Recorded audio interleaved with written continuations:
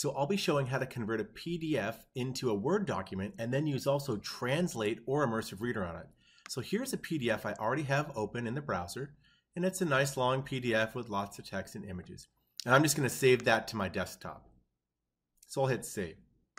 Now I've switched to Word and I'm going to open that PDF I just saved. So I'm going to go to File, Open, and choose the PDF. Now Word is going to convert that PDF and open it right in Word.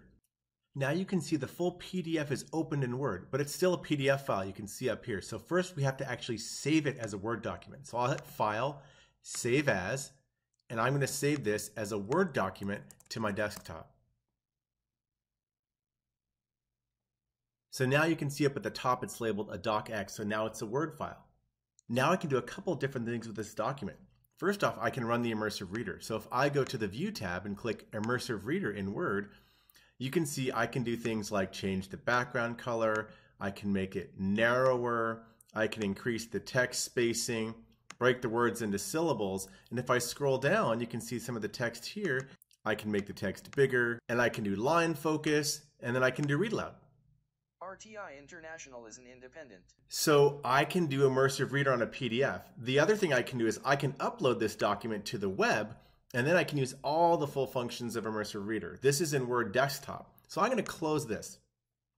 The other thing I can do with my PDF, and think about non-native speakers, but also think about the parents of non-native speakers, is I can translate this entire document in just a couple of clicks. So if I go to the Review tab, I click on Translate, and I choose Translate Document.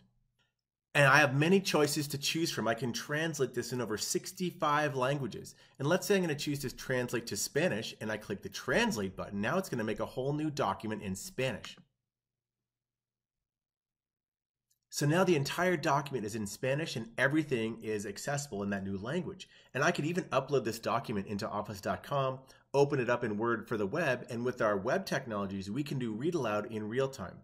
If you want to do the immersive reader in Spanish, you'll have to download to the desktop version of Word that Spanish voice. But if you put it into the office.com Word web, it'll access that read aloud voice right away.